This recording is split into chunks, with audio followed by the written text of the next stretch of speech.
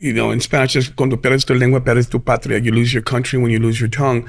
And right now, being Latino is very popular. It's like in style. It's in vogue right now. And I feel like everyone's claiming their heritage and I'm a Latino and I'm this, but you don't speak a lick of Spanish.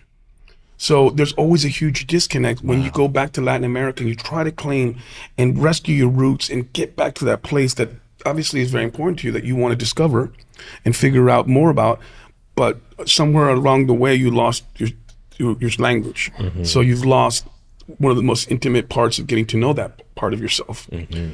And I think it it's it's endemic with a lot of generational Latinos because what's ends up happening is that you get first generation or, or uh, Latinos or like you know their parents uh, immigrated, and then they want to simulate so one of the ways to do that is to not have your kids viewed as immigrants. Mm-hmm. So that's why Spanish isn't taught a lot of homes for, from certain generations because the parents wanted to separate themselves wow. and, and, raise American kids as opposed to Mexican kids or wherever.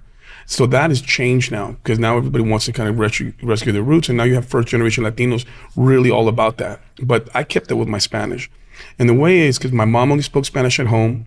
And you know, I, we're constantly going back and visiting with family when we only spoke Spanish. And then now I've kept up with it because I have friends that I speak in Spanish with every day. Mm-hmm. I keep up with it.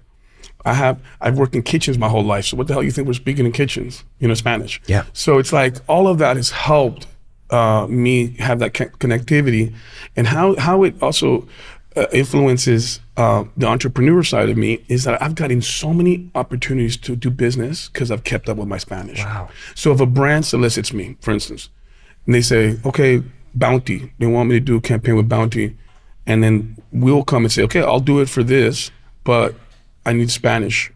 We'll do the same. Uh, we'll do the same marketing campaign in Spanish, so I get paid twice, mm-hmm. once in English and once in Spanish. You know what I'm saying? Brilliant. So that's how important it is because you're literally leaving money and you're leaving opportunities on the table just because you didn't keep up with your Spanish.